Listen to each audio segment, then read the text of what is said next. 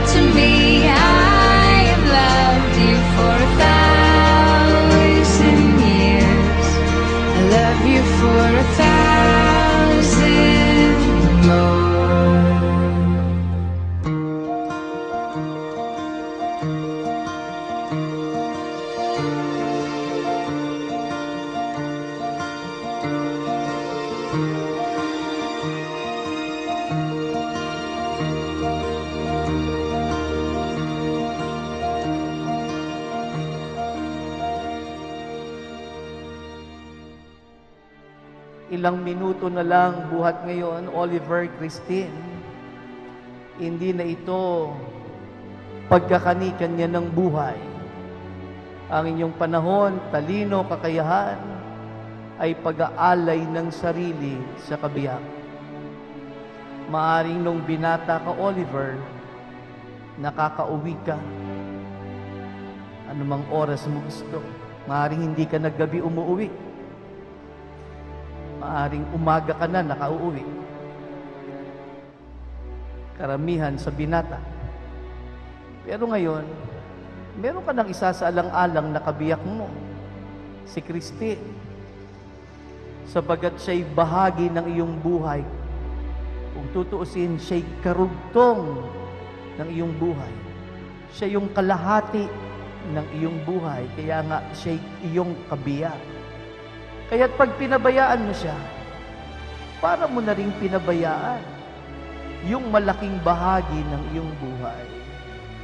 Kaya't malaki yung pagsasaalang-alang dapat mong gawin sa iyong kabiyak. Siya'y iyong aalagaan sapagkat pag napabayaan mo siya, sarili mong buhay sapagkat siya'y kabiyak ng iyong buhay ang iyong pinabayaan. Christine, maaring nung dalaga ka, ang inaasikaso mo lang ay sarili mong gamit, sarili mong damit, iyon lang marahil yung nilalaban mo. Pero ngayong si Oliver ay kabiyak na ng iyong buhay. Aba, pati damit ni Oliver, lalaban mo.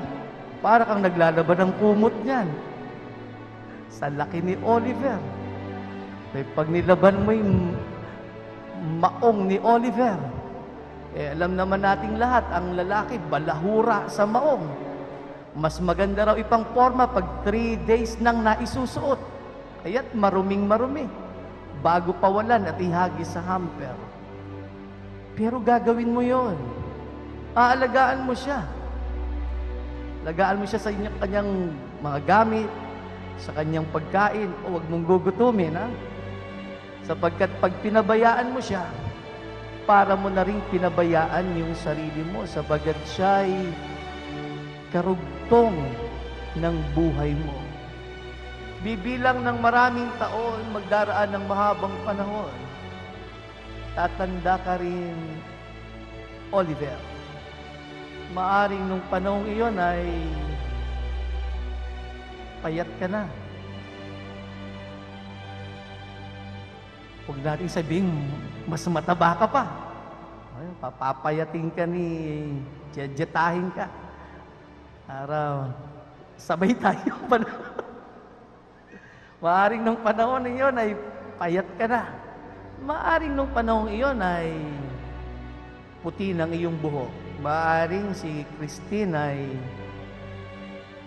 puti na rin ang buhok. May pilegis na at gatla sa mukha. Maaring bakas pa rin yung kagandahan ng kabataan na inibig mo at hinabol-habol. Ngunit maaring sa kanyang pagngiti, bungal na rin siya. Wala na rin siyang ngipin. Ipangako ninyo at panalangin sa poong may kapal na maging sa sandali ng inyong katandaan. Sa panahon ng inyong kawalan, kayo pa rin yung magkasalo sa maraming bagay. Magkahawak ang kamay sa paglalakbay, sabagat hindi kayo dalawa, kundi isa. Pinag-isang dibdib, pinagdurugtong ang mga buhay, itinatali ang mga puso upang maging ganap na magkabiyak. Amen. Ay minamahal kong Oliver at Christine sa binyag at kumpil, nakisa kayo sa buhay at pananagutan ng Panginoon at sa pagdiriwang ng huling hapunan. Mulit-muli kayong nakisalo sa pag ng kanyang pagmamahal ngayon na may kusang loob na kayo dumudulog sa sambayan ng ito. Miling ng panalangin ng Panginoong panghabang buhay na pagbuklod ay pagtibayin ng Panginoon. Inihiling ko ngayon, Oliver at Christine, na buong katapatan ninyong ipahayag ang inyong damdamin sa isa't isa. Christine, bukal ba sa iyong loob ang iyong pagparito upang makisang dibdib si Oliver na iyong pakamamahalin paglilingkuran habang buhay? Opo, Father. Oliver, bukal ba sa iyong loob ang iyong pagparito upang makisang dibdib si Christine na iyong pakamamahalin paglilingkuran habang buhay? Opo, Father. Nakahanda ba kayong gumanap sa inyong pananagutan sa simbahan at sa bayan o maasang inyong arugain ang mga supli na ipagkakaloob ng poong may kapal upang sila inyong palakihin bilang mabubuting mamamayang Kristiyano? Opo, Father. Opo, Father. Ngayon po'y naniyahan ng mga magulang, ninong at ninang, mangyari pong tumayo. Kung magulang, ninong at ninang tumayo, lumapit po sa tabi ng ikinakasal at saksiyan ng gaganaping pagtitipad.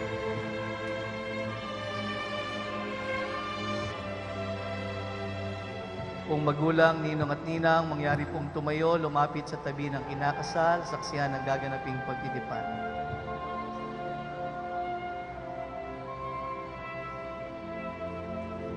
Minamahal kong Oliver at Christine sa harap ng Diyos at ng kanyang sambayanan, pagdaupin ninyo ang inyong mga palad at ipahayag ninyo ang mitihing magtipan sa banal na sakramento ng kasal.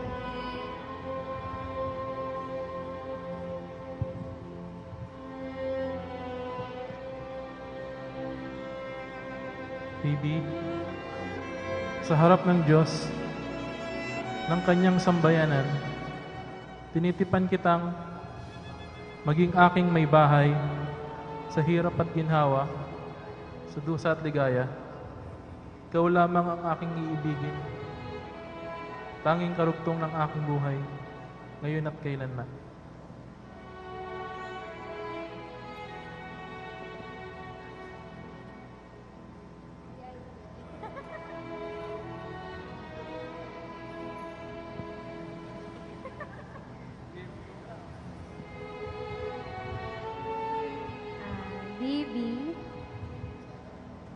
Harap ng Diyos at ng kanyang sambayanan, tinitipan kita maging aking asawa. Sa hirap at ginhawa, sa dusa at ligaya, ikaw lamang ang aking iibigin. At tanging karugtong ng aking buhay. Ngayon at magpakailan.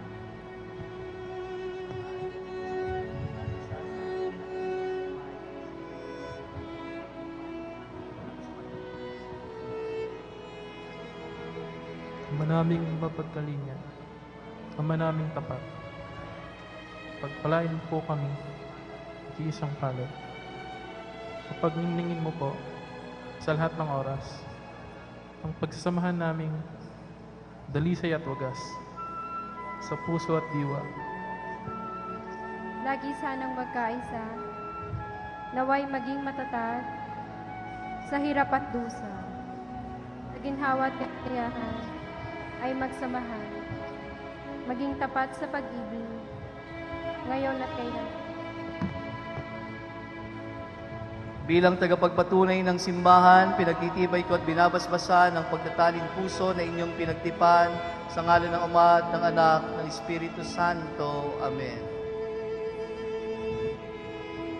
Ngayon po ay ang may dala ng aras at singsing. Pakialalayan po ng nakatatanda ang mga batang may dala ng aras at ng singsing.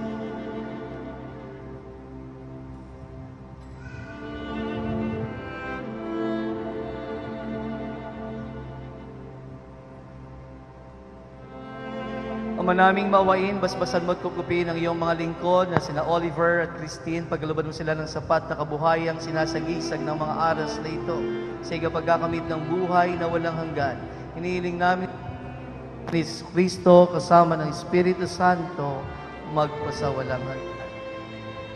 Ama naming mapagmahal, basbasan mo at lingapin ang iyong mga lingkod na sina Oliver at Christine. Pagindapatin mo silang magsusuot ng mga singsing na ito ay maging kawangis mo sa iyong wagas na pag-ibig at walang maliw na katapatan. Inihiling namin ito sa pamagitan ni Yeso Kristo kasama ng Espiritu Santo magpasawalang hanggan. Baby.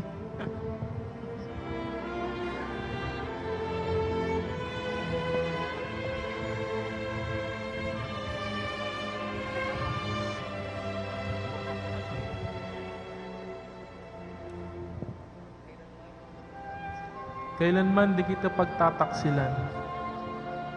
Isuot mo at pakaingatan ang singsing na ito na siyang sangla ng aking pag-ibig at katapatan sa ngalan ng Ama, ng Anak, at ng Espiritu Santo. Amen.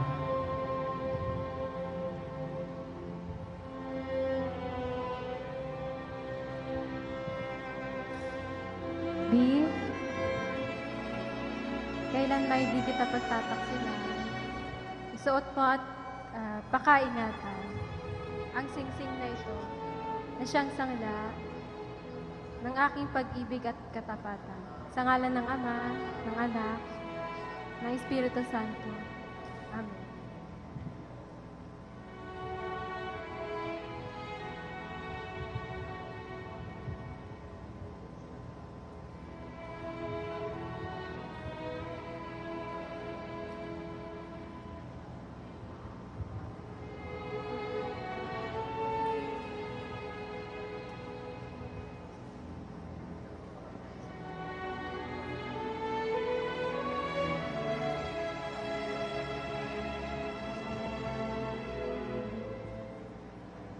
Baby, kailanman di kita pababayaan. Inilalaga ko sa iyo itong mga aras na tanda ng aking pagpapahalaga at pagkalinga sa kapakanan mo at ng ating magiging ah, mga anak. Sa ngalan ng Ama, ng Anak, ng Espiritu Santo.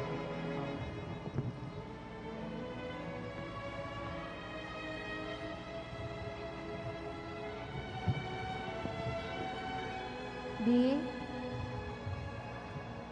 Tinatanggap ko ito.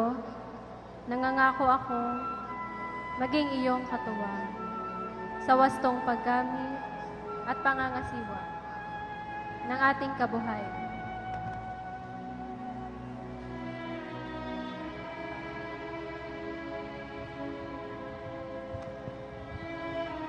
Ngayon, Oliver at Christine, kayong up sa sambayanan. Sina Oliver at Christine, ngayon po'y ganap nang magkabiyak. Pasalubungan natin sila ng palakpakan.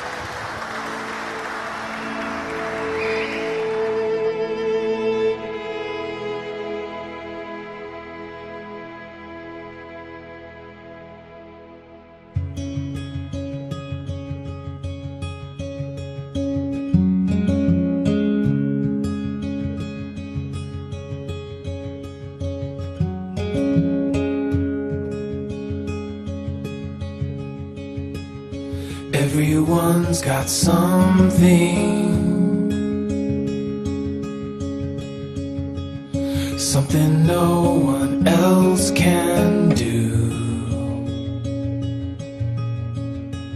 Something no one else can see. And I want you. Want you to know.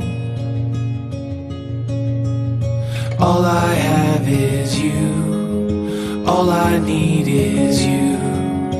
All I want is